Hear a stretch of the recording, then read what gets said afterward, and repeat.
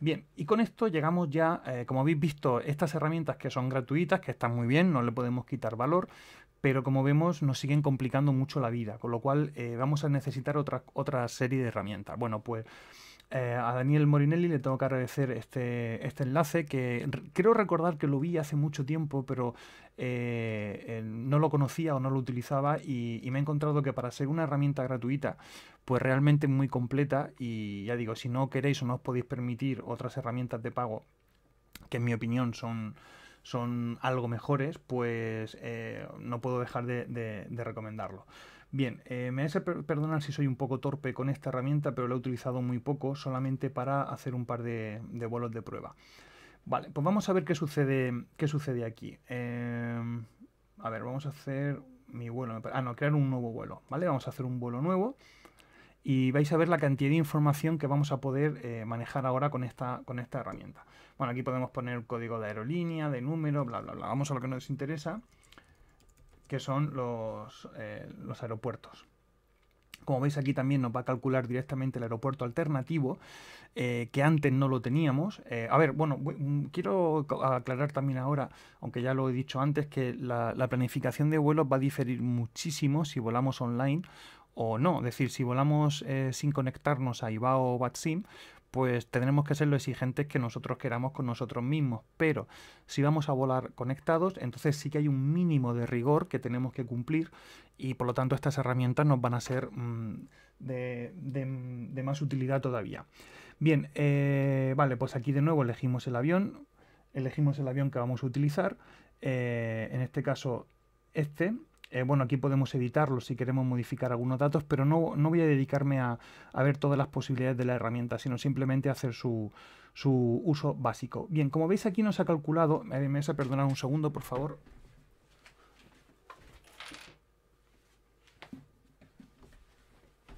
Vale, perdonad, cosas del directo. Bueno, eh, comentaba que aquí ya nos ha creado una ruta. Y como veis aquí nos ofrecen eh, diversas mm, webs, entre ellas, perdón, es que siempre se me olvida ampliar. Bueno, como veis aquí hay varias web, aparte de la que he comentado aquí de Roadfunder, que posiblemente es una de las más comunes, hay otras también, eh, perdón, hay otras también interesantes como FlightAware, BatAware, bla bla bla. Bueno, pues aquí tenemos eh, rutas em, para que nos van a generar de forma automática. De hecho, aquí vamos a tener también las, las últimas rutas que hayamos generado eh, y demás. Bueno, a ver un segundo, ¿qué nos faltaba por aquí? Vale, analizar la ruta. Entonces analizamos para comprobar que la ruta eh, sea correcta. Bueno, como veis aquí podemos poner la, carga que vamos a llevar, con lo cual aquí sí que nos va a, poner un, cálculo más, correcto. También podemos elegir aquí el tiempo em, de taxi out, el tiempo de rodadura para el despegue y el taxi in, el tiempo de, rodadura, em, desde que aterrizamos hasta que paramos motores. Eh, podemos añadir una cantidad extra, que ya sabéis que esto siempre es a criterio del capitán, nos puede calcular también el, peso de forma automática, el peso con los pasajeros y demás, o podemos seleccionarlo también nosotros. Como veis ya esta herramienta, aun siendo gratuita, eh, es mucho más completa. Bueno, comentar que aquí me dice que estoy utilizando el IRAC 1411, es decir, el IRAC número 11 del 2014. El 11 casi siempre se corresponden con los meses, por lo tanto estamos en noviembre, lo más normal es que sea el 11 lo más normal es que sea el 11. Em, a ver, me vais a perdonar otro momento, por favor.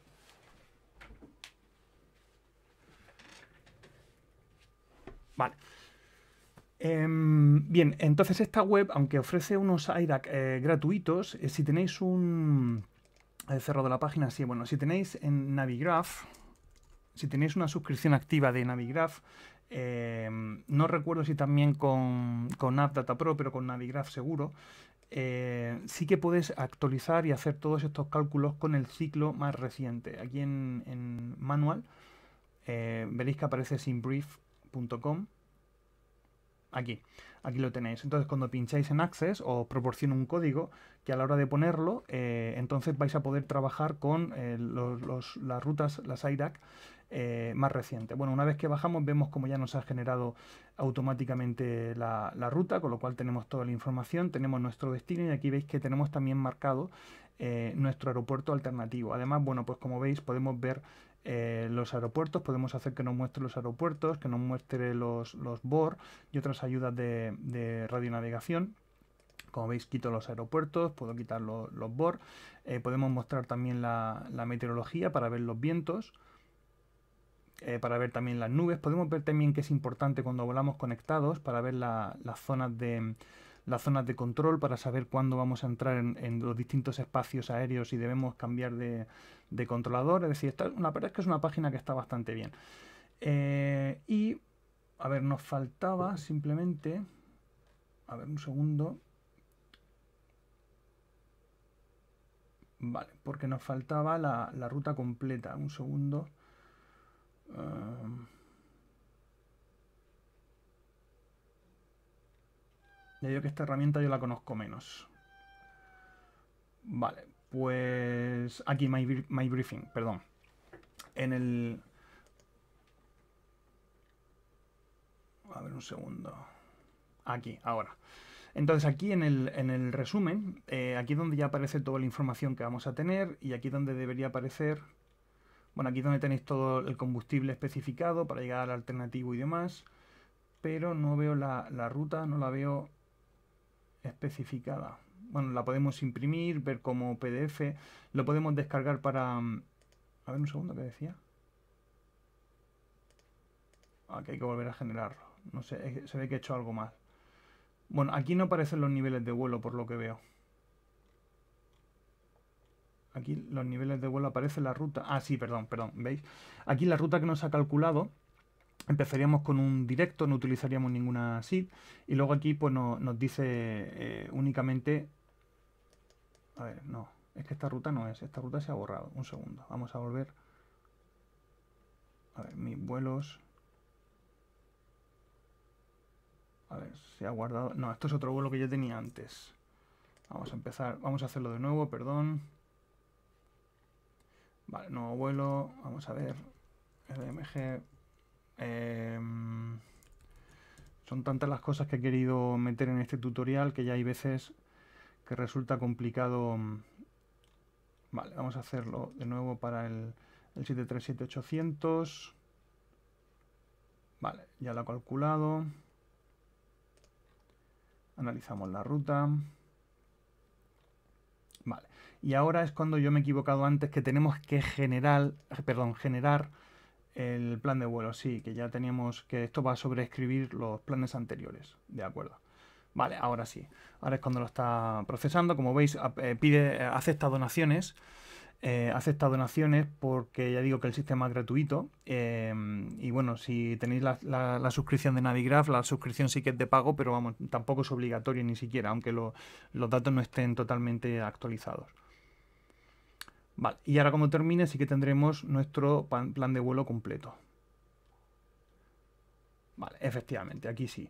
Como veis ya sí que nos indica los distintos lugares con los distintos niveles de vuelo, en fin, nos aparece todo completo. Como veis, esta información es muchísimo más completa que la que podríamos obtener con las herramientas gratuitas que hemos visto antes de localización de, rutas. Por eso comentaba que, bueno, tenía que darle las gracias a, Daniel Morinelli, que, bueno, me, me, estaba aquí diciendo en qué estaba metiendo la pata, seguro que estaba sufriendo, viendo como, hay que darle ahí, hay que darle ahí.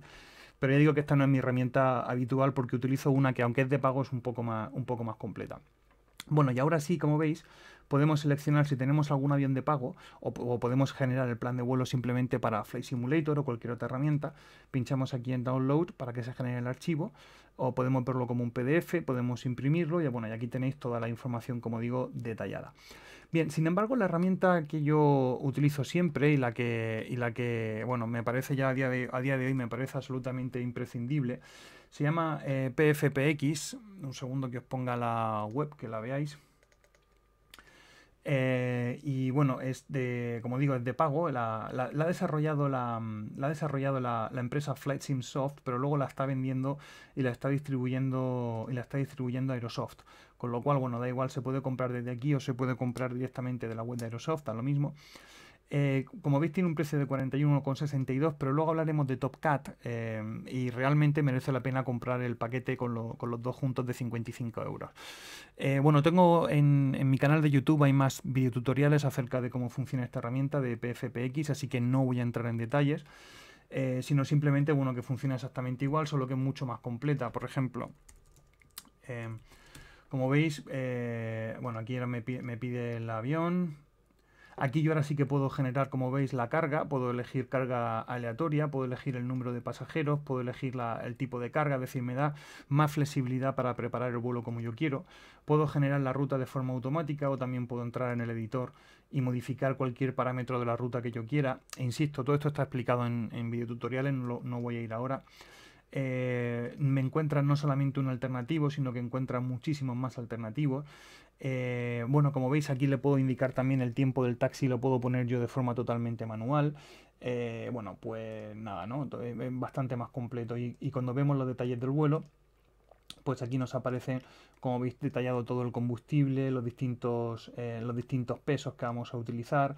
Nos aparece la ruta completa también. bueno, pues es una herramienta, como digo, que para mí es la, más completa sin entrar tampoco en, en mucho más detalles. Eh, luego también hay, más herramientas que son también interesantes. Eh, una herramienta que yo he utilizado durante muchísimos años hasta que descubrí eh, PFPX y sigo utilizándola a día de hoy es la Flight Commander. Flight Commander tiene una cosa que es fantástica y es que em, aunque es una herramienta de pago, los primeros 30 minutos son, lo puedes utilizar durante 30 minutos de forma totalmente gratuita no estaba, no recuerdo ya era el precio que tenía. Ahora estaba la página de. La página de compra. Bueno, aquí aparece aquí 39,90 39 euros. Pero como digo, lo bueno que tiene eh, es que durante 30 minutos se puede utilizar de forma totalmente gratuita. Había un par de limitaciones, no recuerdo muy bien, pero son muy pocas las limitaciones. Y bueno, pues aquí de nuevo ponemos eh, los aeropuertos. Eh, nos hace la ruta directa y si queremos eh, utilizar las rutas que nos han generado otra herramienta, pues él puede hacer herramientas automáticas. También si pinchamos en High Alt Plant, nos hace una ruta automática de, gran altitud. o también podemos copiar y pegar rutas generadas por otros programas. Pero tiene la limitación de que em, no eh, no te incluye los niveles de vuelo, simplemente te hace una ruta de punto a punto sin indicar los niveles. A cambio tiene otras características que veremos después que hacen que siga siendo una herramienta tremendamente valiosa y que siga utilizando eh, prácticamente pues, en, cada, en cada vuelo. Vale, eh, vale, hay otra herramienta también interesante que se parece también a, simbrief.com. Bueno, simbrief.com evidentemente es una herramienta online, con lo cual vamos a necesitar eh, siempre una conexión a internet y se accede mediante un navegador. Otra herramienta gratuita que empezó muy prometedora, pero hace ya tiempo que no se actualiza, se llama EFAS, eh, Electronic Flight Assistant. Y bueno, de nuevo, no voy a entrar en detalles, pero es muy parecida a a simbrief.com y también a, PFPX. Bueno, como digo, la última, hace un año me parece que ya no se actualiza esta herramienta, aunque como digo también es bastante válida, también está bastante bien, es muy completa. De hecho, en realidad quizá el truco sea eh, utilizar lo mejor de cada una de estas herramientas y combinarlas. Luego hay otra herramienta que también es muy muy interesante y que tiene lo que tiene de especial es una cosa que veremos ahora después acerca de las cartas y es que hasta cierto punto Em, esta herramienta iBlastsoft nos va a permitir prescindir de otros recursos de generación de cartas aeronáuticas. Lo dejo aquí abierto porque hablaremos de él más adelante. Y luego hay otras páginas que ya no voy a entrar en ellas, simplemente las he dejado aquí como referencia que también nos permiten eh, generar rutas. Rocket Route ofrece eh, tanto parte gratuita como parte de pago y fltplan.com y Aeroplanner son, son gratuitas. Y bueno, pues aquí ahora sí que voy a hacer de nuevo otra pequeña pausa Sí, eh, me preguntan si PFPX efectivamente. De hecho, eh, no solamente te hace los niveles de la ruta, que los tenéis aquí, sino que además aquí tenéis una casilla que se llama ATC, en el cual te hace un formato de ruta em, en, en, el formato real, en tal y como se enviaría el plan de vuelo en la realidad. De hecho, tenéis aquí una casilla que pone Validate, que conecta con Eurocontrol y te valida y te dice si ese plan de vuelo sería correcto en la realidad, en la vida real. En este caso no, nos han salido dos, errores. Había otra, mm, otra herramienta, no me acuerdo cuál era, que también tenía la opción de, validar las rutas. Pero bueno, que ya digo que em, eh, PFPX efectivamente también nos va a indicar todos los niveles de vuelo y cuándo debemos cambiar el nivel de vuelo. Vale, pues a ver si hay alguna otra cuestión, si hay alguna otra pregunta, eh, y si no, vamos a pasar a el siguiente apartado, que era los computadores de vuelo. Ahora, bueno, ahora hablaremos de, de qué va. Y me vais a permitir de nuevo que haga otra pequeña pausa para, para beber un poquito de agua y mientras espero en el chat si hay algún comentario o duda.